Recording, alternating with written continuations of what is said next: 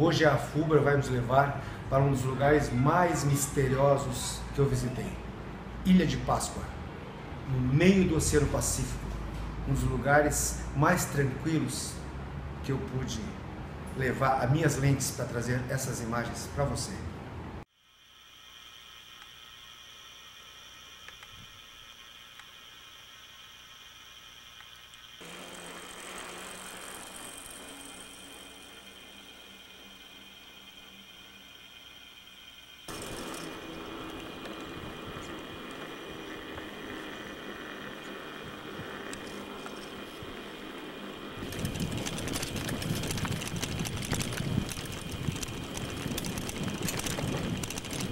Um lugar paradisíaco, água verde esmeralda, espetacular.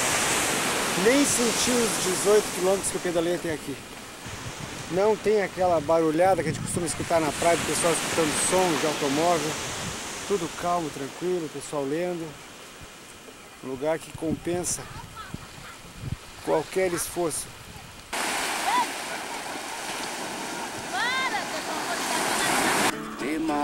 E atua iera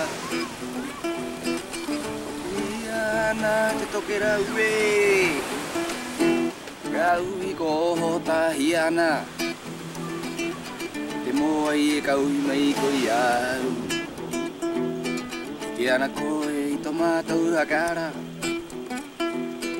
Te moa i e kau mai ko i au. Local maravilhoso, espetacular subir aqui o morro ao lado, talvez tenha desmoronado e deixado essa depressão aqui. E a pedra é bem porosa, acredito que seja também é, pedra vulcânica. Um dos principais também cartões, cartões postais da Ilha de Páscoa.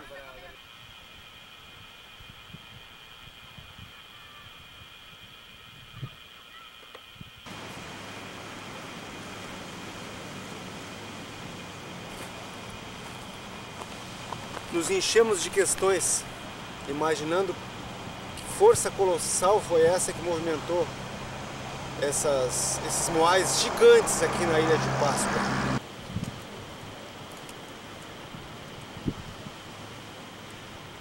Infelizmente, a maldade do ser humano não tem limites. Olha só o símbolo que eu encontro desenhado aqui, além de um vandalismo, demonstração de total falta de humanidade.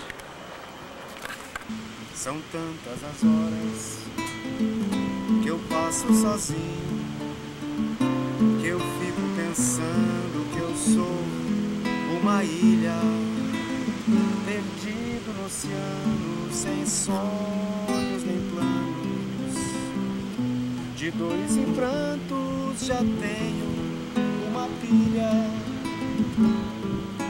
Já não precisas mais voltar, pois na tua volta quase nada vais achar. Já não preciso de você, me fiz poeta, inspirado no sofrer.